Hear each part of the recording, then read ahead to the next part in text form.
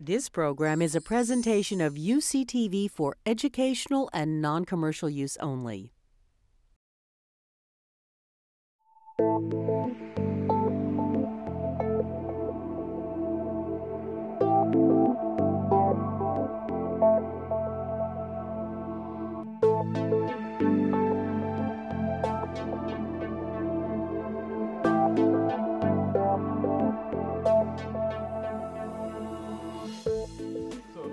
My job tonight is to introduce all our participants, and I'm going to start with Dave Duerr, who is the Director of Development and External Relations here at the library, and who, along with Bob Hass, was one of the people who was responsible for the founding of this series, Story Hour. So it's appropriate we begin this episode about beginnings with Dave, who, who begat Story Hour. He's a Berkeley graduate, class of 68. He got an MS from USC and then spent a few years teaching um, including a period teaching and traveling in Zambia. And then I guess that changed him because when he came back, he moved into development and came to Cal to get involved in fundraising, first for engineering, then for health systems, and since 2000 here at the library. Please welcome Dave Duerr.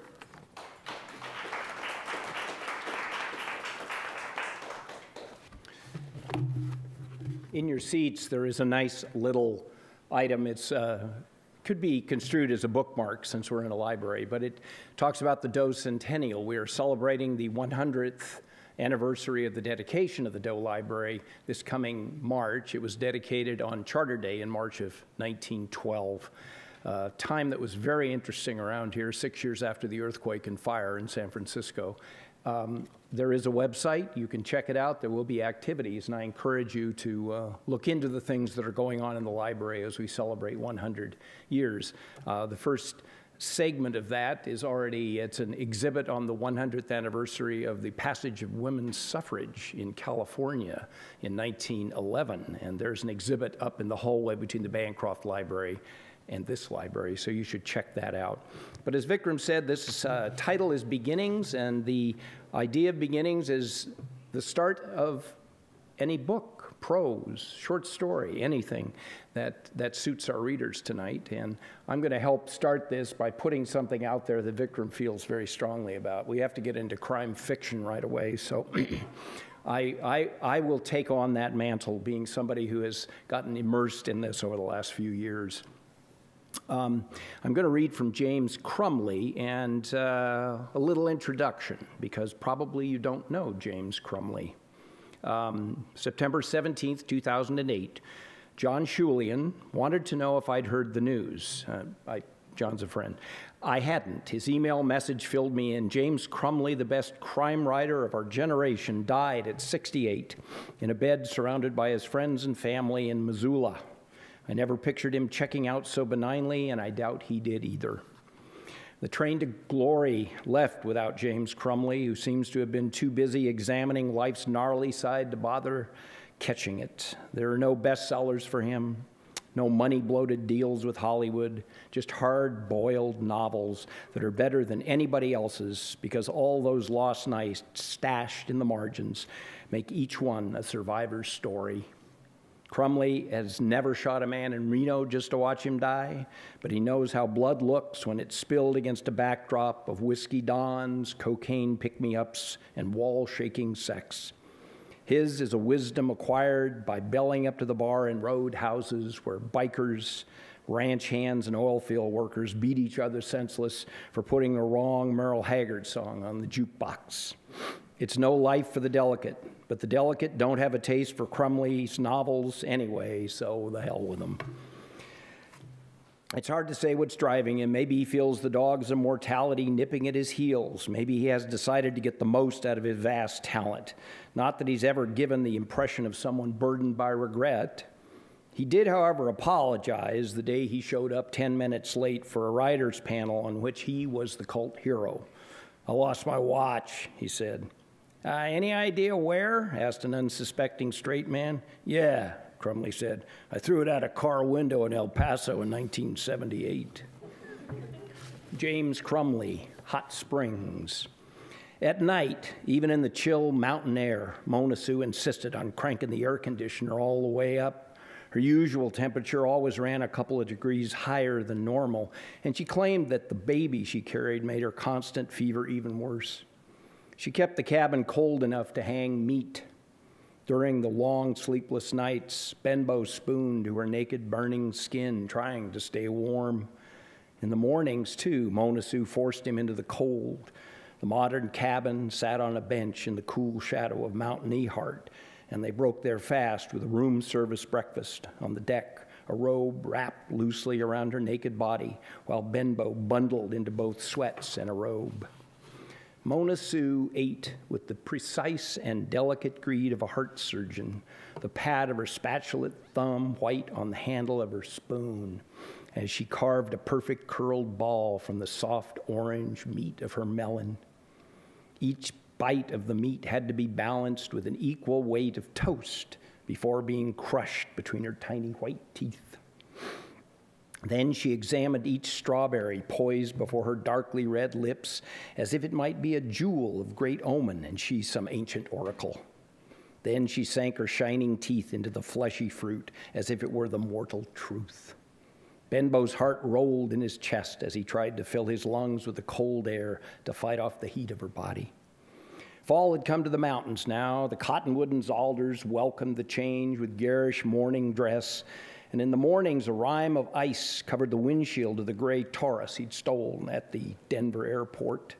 New snow fell each night, moving slowly down the ridges from the high distant peaks of the Hard Rock Range, and slipped closer each morning down the steep ridge behind them. Below the bench, the old lodge seemed to settle more deeply into the narrow canyon, as if hunkering down for eons of snow, and the steam from the hot springs mixed with the wood smoke and lay flat and sinuous along the Yellow Creek willows. Benbow suspected, too, that the scenery was wasted on Mona Sue. Her dark eyes seemed turned inward to a dreamscape of her life. Her husband, R.L. Dark, the pig farmer, his bull necked son, Little R.L., and the lumpy Ozark offal of her large, worthless family. Coach, she'd say. She thought it was funny to call him Coach, interrupting the shattered and drifting narrative of her dreams. And she'd sweep back into the thick black Indian hair from her face, tilt her narrow head on the slender column of her neck, and laugh. Coach, that old RL, he's a comin'. You stole something belonged to him. And you can bet he's on his way. Little RL, too. Probably because he told me once he'd like to string your guts on a barbed wire fence, she recited like a sprightly but not very bright child. Sweetheart, R.L. Dark can just barely cipher the numbers on a dollar bill or the spots on a card, Benbow answered, as he had each morning for the six months they'd been on the run. He can't read a map that he hasn't drawn himself, and by noon he's too drunk to fit his ass on a tractor seat and find his hog pens. You know, Puddin', an old boy's got enough of them dollar bills or stacks of them Franklins like we do, she added, laughing. He can hire out that reading part and the map part too. So he's a comin'. You can put that in your mama's piggy bank. This was a new wrinkle in their morning ritual, and Benbow caught himself glancing down at the parking lot behind the lodge and shook at the narrow and look at the single narrow road coming up Hidden Springs Canyon. But he shook it off quickly, and he made the fateful decision to take Mona Sue and the money and go for it, never glancing over his shoulder, living in the moment. While Mona Sue had swelled through the pregnancy, Benbow had shed 27 pounds from his blocky frame. Sometimes, just after they made love, it seemed as if her burning body had stolen the baby from his own muscled flesh. Something stolen during the tangle of love, something growing hard and tight in her smooth, slim body. As usual, they made love, then finished coffee, ordered a fresh pot, tipped the wrangler, made love again before her morning nap. While Mona Sue slept, usually Benbow would drink the rest of the coffee as he read the day old Meriwether newspaper and then slip into his sweats and running shoes and jog down the switchbacks to the lodge to laze in the hot waters of the pools. He loved it there, floating in the water that seemed heavier than normal, thicker, cleaner, clearer. He almost felt whole there, cleansed and healthy and warm, taking the waters like some rich foreign prince fleeing his failed life. Occasionally, Benbow wished Mona Sue would interrupt her naps to join him, but she always said it might hurt the baby, and he already had plenty hot with her natural fevers. As the weeks passed, uh, Benbow learned to treasure his time alone in the hot pool and stopped asking her. So their days wound away routinely, spooling like silk ribbons through their fingers, as placid as the deeply still waters of the pool. But this noon, exhausted from the run and the worry, the lack of sleep and food, Benbow slipped effort- effortlessly into the heated gravity of Mona Sue's sleeping body and slept, only to wake suddenly, sweating in spite of the chill when the air conditioner was switched off. R.L. Dark stood at the foot of their bed, grinning. The old man stretched his crinkled neck, sniffing the air like an ancient snapping turtle, testing the air for food or fun, since he had no natural enemies except for teenage boys with 22s. R.L. had dressed for the occasion. He wore a new Carhartt tin coat, clean bib overalls with the old Webley 455 revolver hanging on a string from his neck and bag in the bib pocket. Two good old boys flanked him, one bald and the other wildly hirsute, both huge and dressed in Kmart flannel plaid. The bald one held up a small ball peen hammer like a trophy. They weren't grinning. A skinny man in a baggy white suit shifted from foot to foot behind them, smiling weakly like a gun shy pointer pup. Well, piss on the fire, boys, and call the dogs, R.L. Dark said, hustling the extra 455 rounds in his pocket as if they were his withered privates. This hunt's done.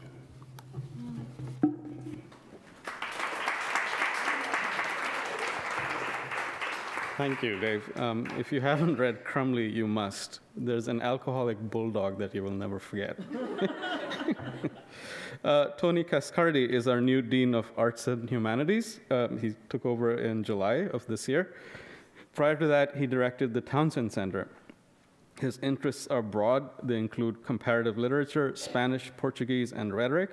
He has served as the chair of the comparative literature and rhetoric departments.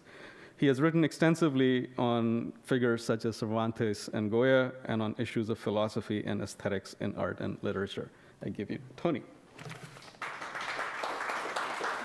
Thank you very much, um, Victor, Vikram. It's a, really a pleasure to be here. Uh, Dave's remarks earlier reminded me of a conversation that I had. Actually, it was a meeting that Bob Hass requested when I was at the uh, Townsend Center, and he came to me to say, What did I think of the idea about a story hour? At the library. And so, of course, those conversations are never without some consequences. So here, we are. No, it's really, a, it's a pleasure to be here. Um, in thinking about um, what to read, I had uh, uh, two, two different strands of thought that eventually came together.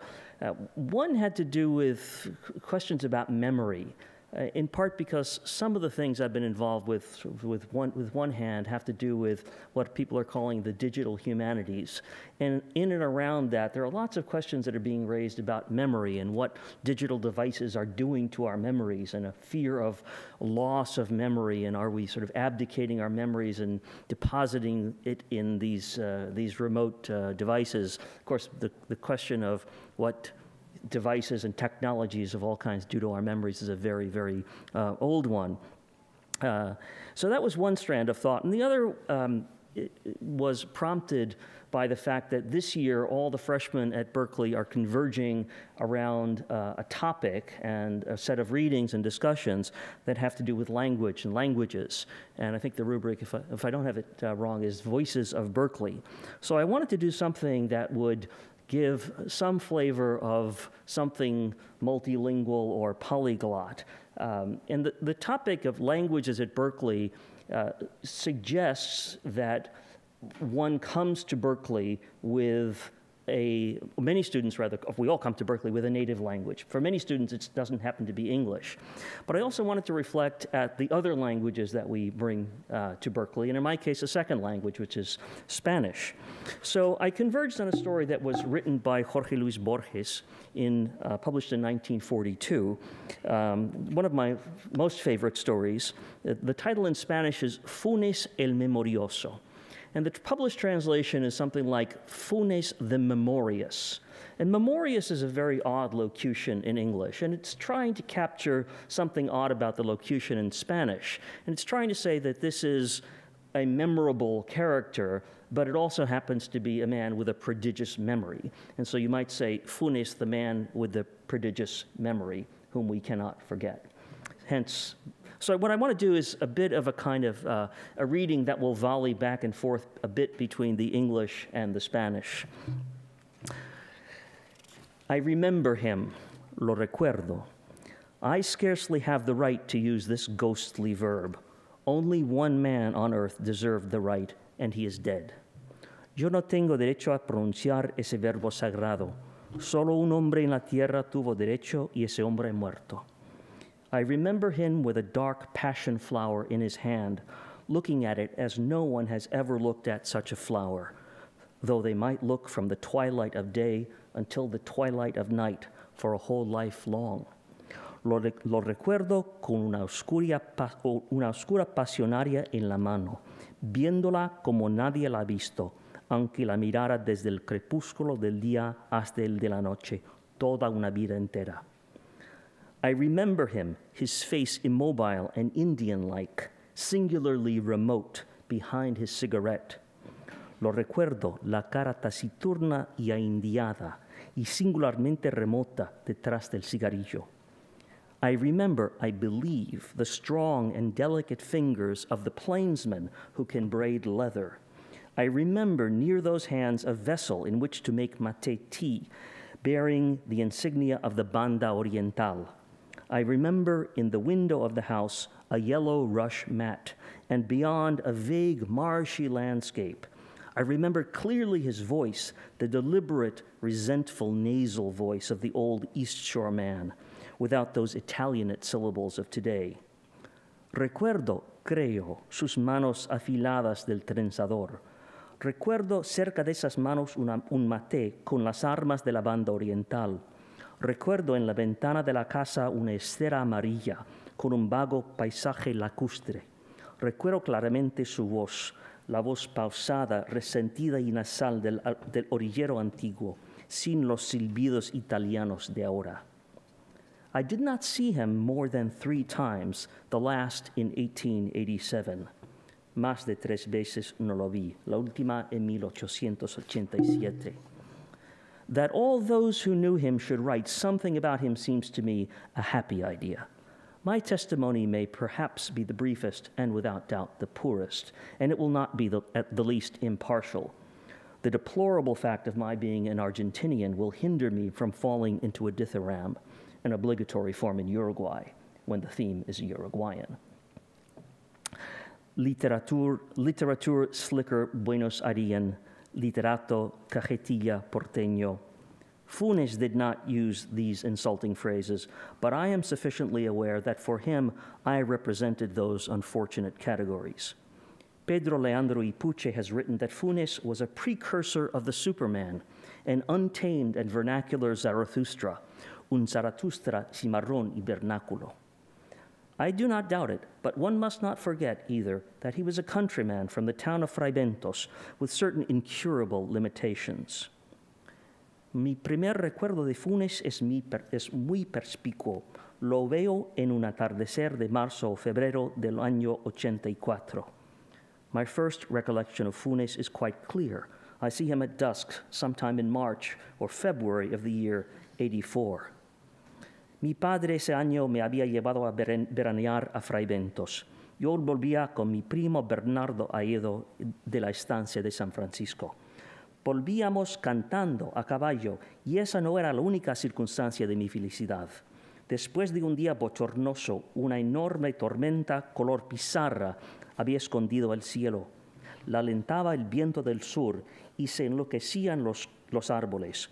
Yo, yo tenía el temor o la esperanza de que nos sorprendiera en un descampado el agua elemental. Corrimos una especie de carrera con la tormenta. Entramos en un callejón que se ahondaba entre las dos veredas altísimas de ladrillo. Había oscurecido de golpe. Oí rápidos y casi secretos pasos en lo alto. Alcé los ojos y vi un muchacho que corría por la estrecha y rota vereda como por una estrecha y rota pared. Recuerdo la bombacha, las alpargatas, recuerdo el cigarrillo en el duro rostro contra el nubarrón ya sin límites. I was on my way back from, Fre- Freben, sorry, from the farm at San Francisco with my cousin Bernardo Haedo. We came back singing on horseback, and this last fact was not the only reason for my joy. After a sultry day, an enormous slate gray storm had obscured the sky. It was driven on by a wind from the south. The trees were already tossing like madmen, and I had the apprehension, or the hope, that the elemental downpour would catch us out in the open. We were running a kind of race with the tempest. We rode into a narrow lane which wound down between two enormously high brick footpaths. I had grown, it had, sorry, it had grown black of a sudden. I now heard rapid, almost secret steps above. I raised my eyes and saw a boy running along the narrow, cracked path as if he were running along a narrow, broken wall. I remember the loose trousers, tight at the bottom, the hemp sandals. I remember the cigarette in the hand, standing out against the, uh, against the by now limitless darkness. Bernardo unexpectedly yelled to him, What's the time, Ireneo? ¿Qué horas son, Ireneo? Without looking up, without stopping, Ireneo re- replied, Faltan cuatro minutos para las ocho, joven Bernardo Juan Francisco. Four minutes, in four minutes it will be eight o'clock, child Bernardo Juan Francisco. The voice was sharp and mocking. Now I have to fast forward um, uh, a bit for lack of, uh, of time, but the narrator uh, visits Funes, and what follows are two of the, I think, most interest- interesting paragraphs of the story that tell of the, narr- the narrator's encounter with Funes. He, Funes, told me that previous to the, to the rainy afternoon when the blue tinted horse threw him, he had been like any Christian, blind, deaf mute, somnambulistic, memoryless. I tried to remind him of his precise perception of time, his memory for proper names. He paid no attention to me. For 19 years, he said, he had lived like a person in a dream. He looked without seeing, heard without he- hearing, forgot everything, almost everything. On falling from the horse, he lost consciousness. When he recovered it, the present was almost intolerable, it was so rich and bright. The same was true of the most ancient and most trivial memories of his. A little later, he realized that he was crippled. This fact scarcely interested him. He reasoned or felt that immobility was a minimum price to pay. Now his perception and memory were infallible. We, in a glance, perceive three wine glasses on the table. Funes saw all the shoots, clusters, and grapes of the vine. He remembered the shapes of the clouds in the south at dawn on the 30th of April, 1882. He could compare them in his, in his recollection with the marbled grain in the design of a leather bound book which he had seen only once, and with the lines in the spray which an oar raised in the Rio Negro on the eve of the Battle of Quebracho. These recollections were not simple. Each visual image was linked to muscular sensations, thermal sensations, and so on. He could reconstruct all his dreams, all his fancies. Two or three times he had reconstructed an entire day. He told me, I have more memories in myself alone than all men have had since the world was a world. And again he said, My dreams are like your vigils. And again, toward dawn, he said, My memory, sir, is like a garbage heap. Thank you.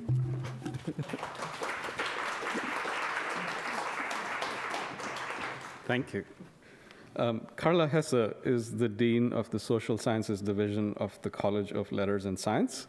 Um, she's taught here at Cal for 20 odd years, and the focus of her research has been modern European history, including its social and cultural aspects, with a specialty in modern European women's history.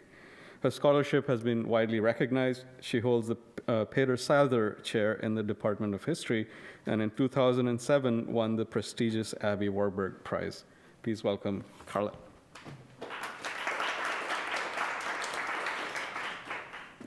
Thank you, Vikram. Well, I, I imagined that people would read their favorite prose fiction uh, today. And um, as a Dean of Social Sciences, I thought it, it, compelled me to think of something that was nonfiction or at least um, um, that might be beautiful. And it, I, it struck me that it's a, an, an appropriate moment to remind ourselves that political philosophy and politics can actually be beautiful.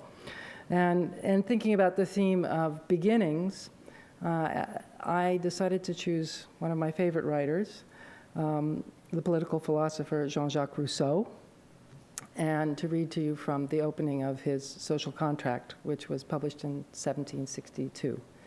Uh, one of the striking things about this text for me and revisiting it is not just that I remember the first time I read it, which was as a freshman at UC Santa Cruz, and it was one of those books I read, and I left the classroom just with my heart racing with excitement at the kind of revolutionary discovery I had made in reading it, but also because it, I think, suits well the theme of beginnings, in that, in many respects, this text, I think, has the claim to be the beginning of modern political thought.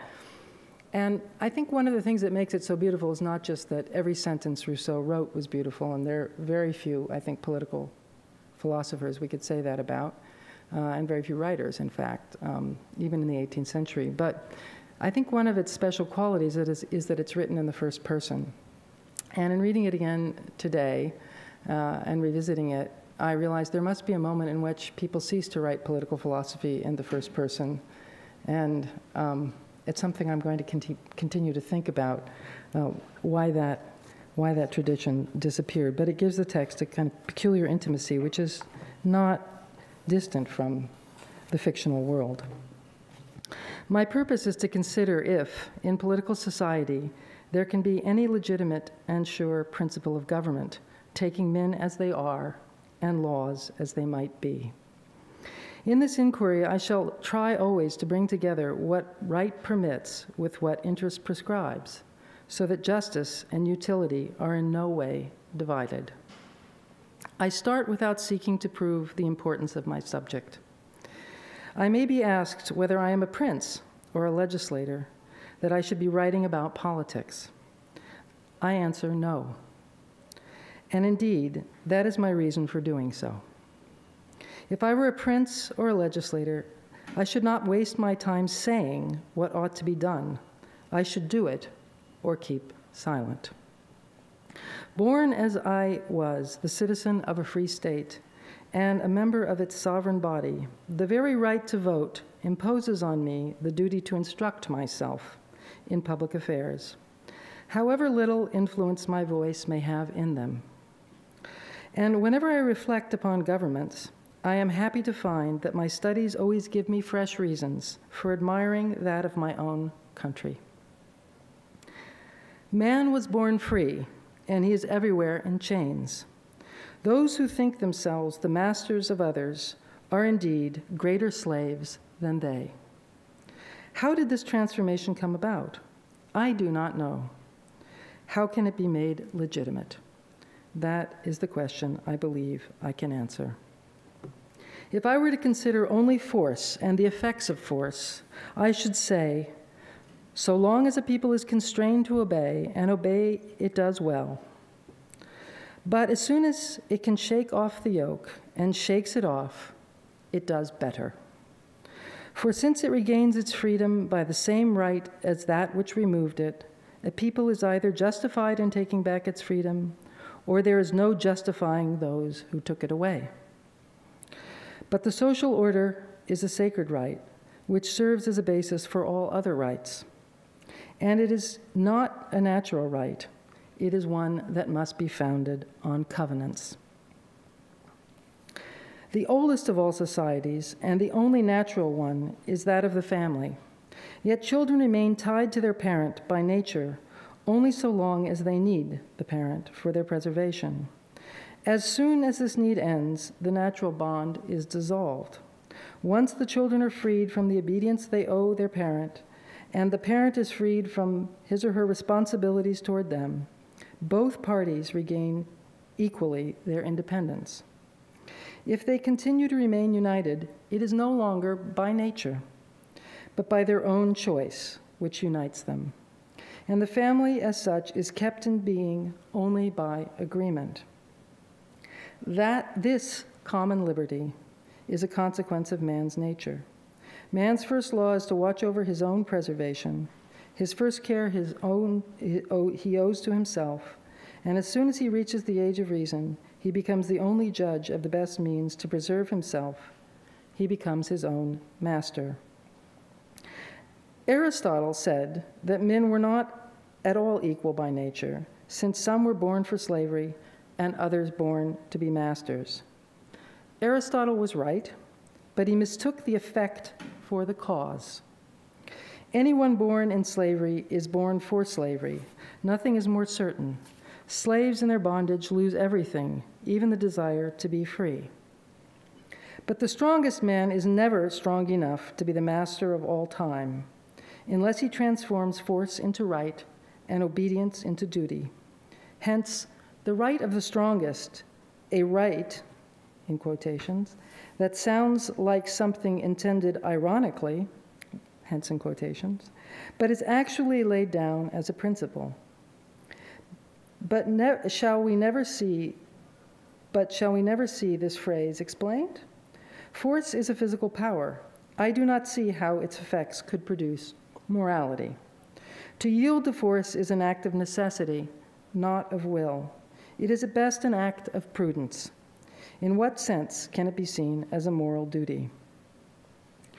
Let us grant for a moment that this so called right exists. I suggest it can only produce a tissue of bewildering nonsense, for once might is made to be a right, effect and cause are reversed. And every force which overcomes another force inherits the right which belonged to the vanquished.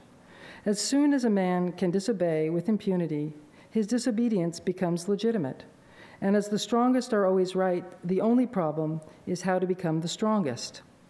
But what can be the validity of a right which perishes, perishes with the force on which it rests? If force compels obedience, there is no need to invoke a duty to obey. And if force ceases to compel obedience, there is no longer any obligation.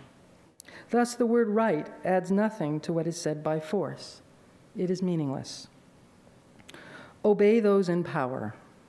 If this means yield to force, the precept is sound, but superfluous.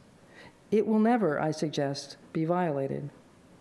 All power comes from God, I agree, but so does every disease, and no one forbids us to summon a physician. If I am held up by a robber at the edge of a wood, force compels me to hand over my purse. But if I could somehow contrive to keep the purse from him, would I still be obliged in conscience to surrender it? After all, the pistol in the robber's hand is undoubtedly a power.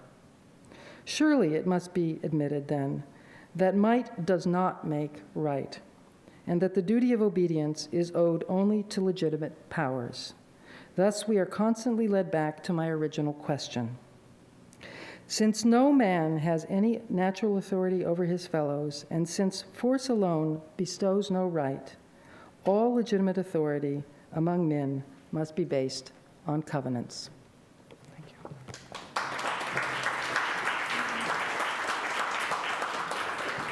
Thank you very necessary reading in, in our times right now.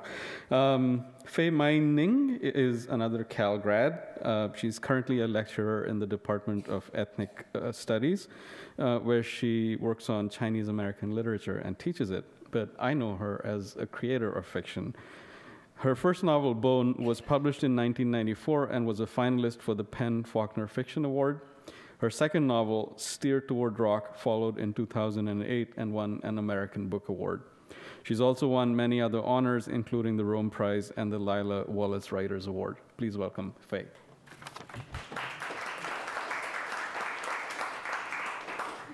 Thank you. What a warm welcome. I am very happy to be here. Um, I'm going to read from this book, Narrow Road to the Deep North a Journey into the Interior of Alaska by Katherine McNamara. What I love about this beginning is that it asks a question, and the question is the writer's goal in travel. Katherine McNamara writes I wanted to learn how to tell a story and tell truth.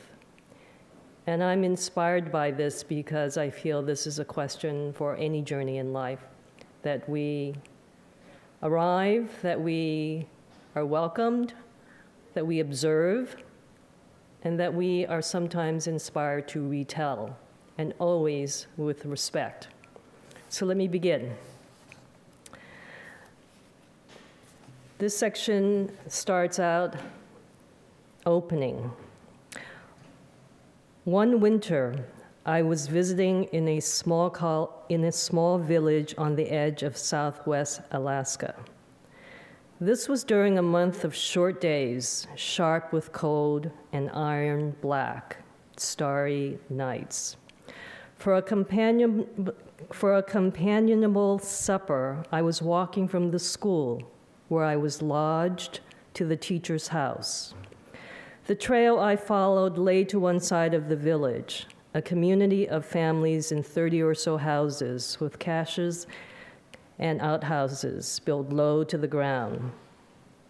Here and there, oil lamps glowed through small paned windows. The dogs had been fed and were quiet.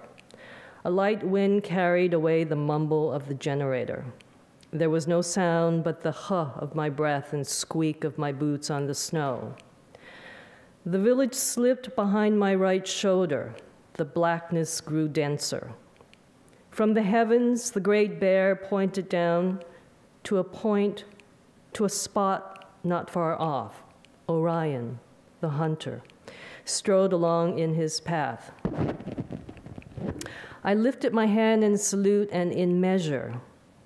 Where it reached the height of my shoulder, the land ended. From there, Orion rose. My hand arced above my head, so much of the sky he filled. Between us stood nothing taller than I. The village turned in on itself, tested at my, tested at my back. I was not from that place, only passing through. But just then, I also was part of it.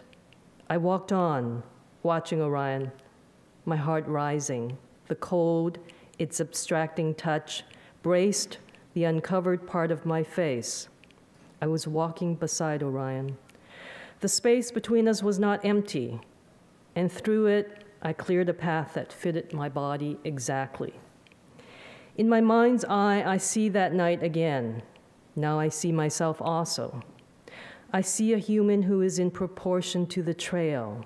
I see the small village the trail is part of, the tundra they all sit upon, the great circle of the horizon, the vast inverted bowl of the night sky, and Orion, the hunter. Orion is walking endlessly, as he has done since he has made his own trail. The village is the house of the body of people who have belonged to this place since their distant beginning. I am passing between school and teacher's house, buildings recently made, inhabited by people who come from the outside and who sooner or later leave. Only for that moment am I there. Around my body, the stars turn in their epic cycles. The people move surely in their seasoned rounds. The uneasy teachers sit for a while at the edge of town, and I live in that moment with Orion. That is how I see, too, what follows in this book, in proportion. Here are these great and lesser cycles in their brief and recurring coincidences. Here are these, here are, here are arc the people and animals and spirits of that place. Here are those who pass by at a tangent. Here is a trail on which all converge for a moment. I am a human in proportion to that hand and beautiful. I am a human in proportion to that hard and beautiful night.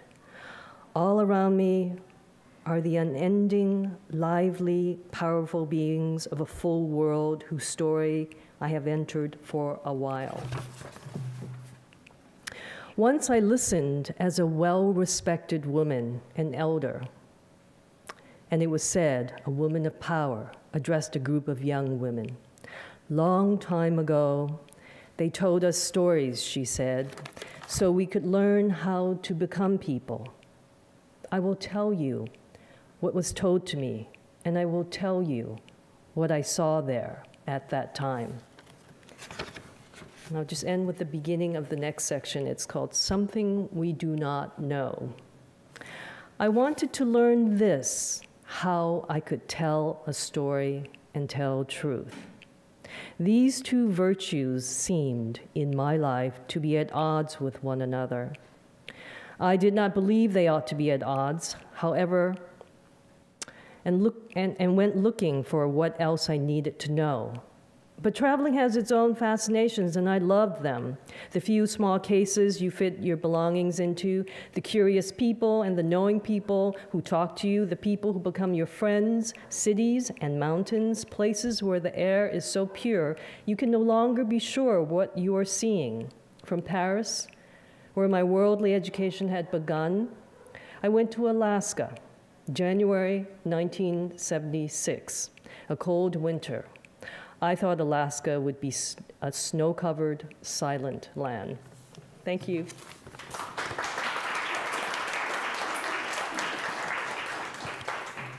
Thank you, Faith. Uh, our last reader tonight is Ananya Roy, who is a professor in the Department of City and Regional Planning.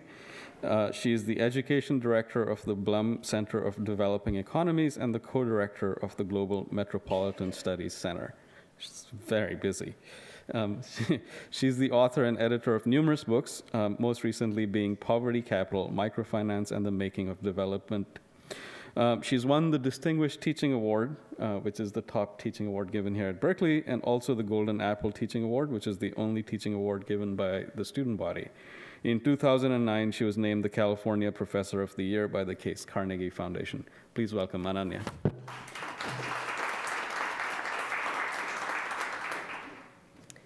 Good evening. I'm thrilled to be here, and I thank Vikram for the invitation.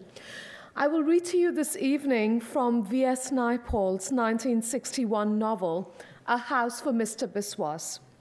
Naipaul is perhaps a controversial choice for a favorite beginning.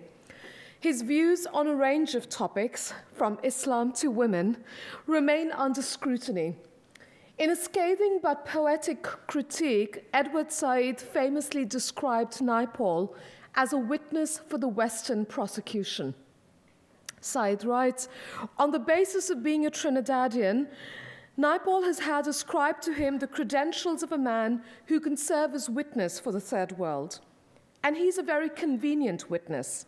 He is a third worlder denouncing his own people, not because they're victims of imperialism, but because they seem to have an innate flaw, which is that they're not white. But I have chosen to read from Naipaul today for precisely these reasons, because for me, he is an embodiment of the anxieties of post colonial existence.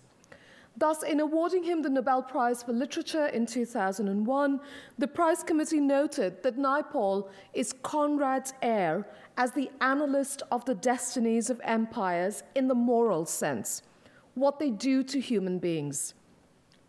A House for Mr. Biswas is such an annal of empire, told from the periphery, but without any of the moral certitude that narratives of and from the margins often bear. As a student of space and spatial politics, I've always been drawn to the theme of home and house that is at the heart of this book. This is a novel about finding a home in the world. Homi Bhabha thus notes that it is in the ruins of the Biswas bungalows that he found his own corner in the world of letters, a post colonial place. But the book is also about the distinctive enterprise of house as home and of house as home as a marker of middle class identity. So, in all of the parts of the world in which I do research, in India, in Egypt, I see Mr. Biswas everywhere. He is uncannily familiar. So, here are a few excerpts from the prologue A House for Mr. Biswas. Ten weeks before he died, Mr. Mohan Biswas a journalist of Sikkim Street, St. James, Port of Spain, was sacked. He had been ill for some time.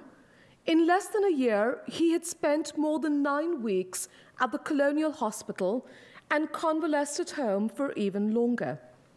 When the doctor advised him to take a complete rest, the Trinidad Sentinel had no choice. It gave Mr. Biswas three months' notice and continued up to the time of his death to supply him every morning with a free copy of the paper. Mr. Biswas was 46 and had four children. He had no money. His wife Shama had no money. On the house in Sikkim Street, Mr. Biswas owed and had been owing for four years $3,000. The interest on this at 8% came to $20 a month. The ground rent was $10. Two children were at school.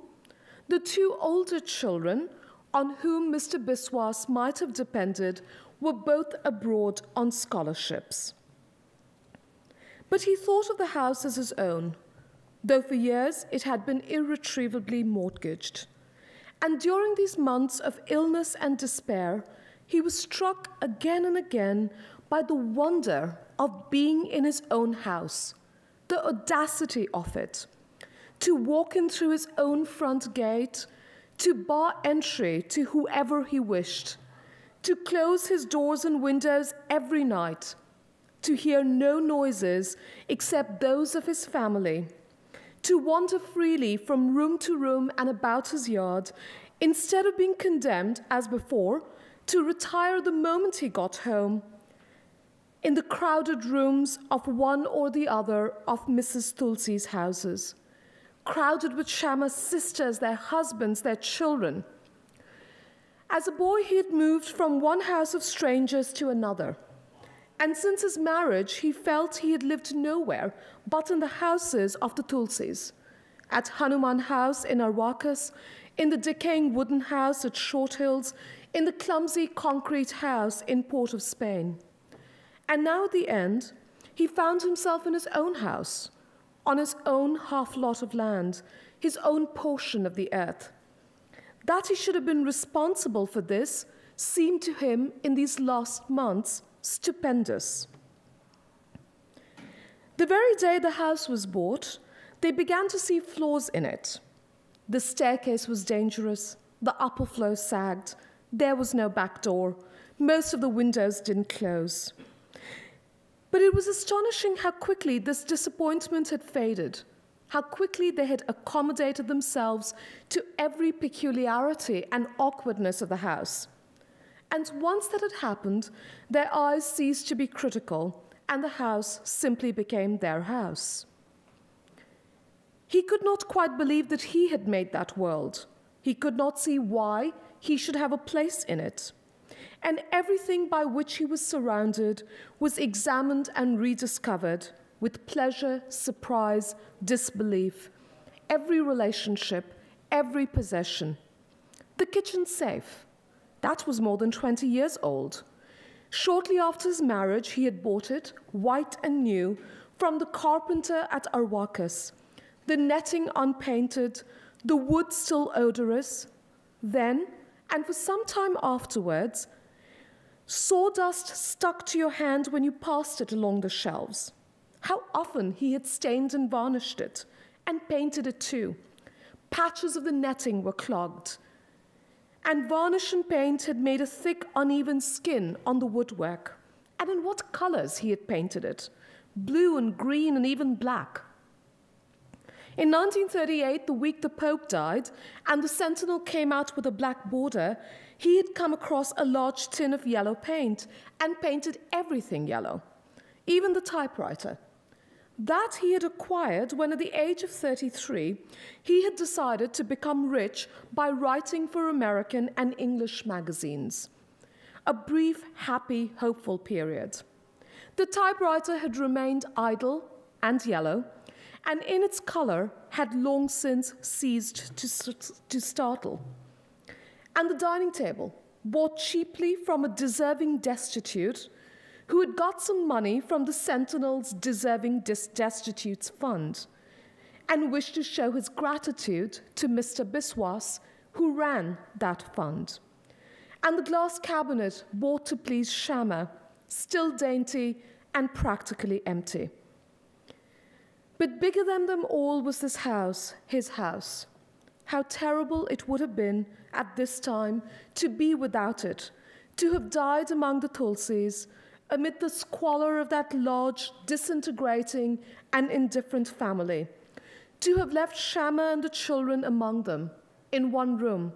Worse, to have lived without even attempting to lay claim to one's portion of the earth, to have lived and died as one had been born, unnecessary and unaccommodated.